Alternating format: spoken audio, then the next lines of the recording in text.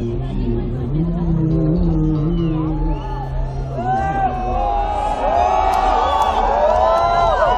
everybody, good evening. It's an absolute pleasure to be back here. Uh, our third time at the Weekender, at the Dewarists stage. And I'd like, so what we're going to try and do today is do you some songs that we have not been doing for a lot of years. So that we play some So what happens when a new guy joins the band is that you go over all your old material. And while doing that, you say, अरे यार ये गाना तो बड़ा अच्छा है यार इसको क्यों नहीं बजाया हमने हैं?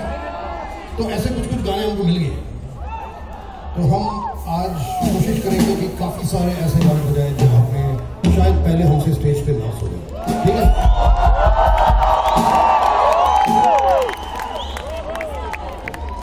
So we're going to begin with a song that I.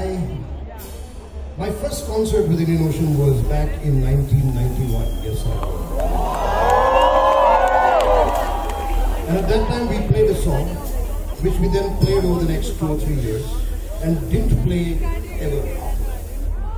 We recorded it in 2003, put it into an album, and didn't it.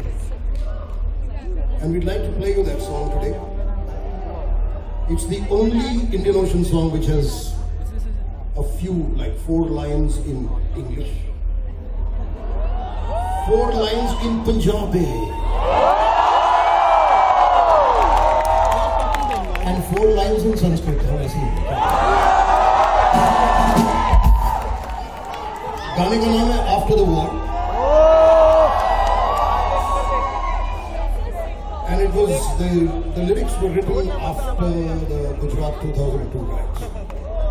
And it basically talks about what it is that can drive a guy who is perfectly fine till yesterday to take up a sword and a knife and start killing people. Okay, so here we go, after the war.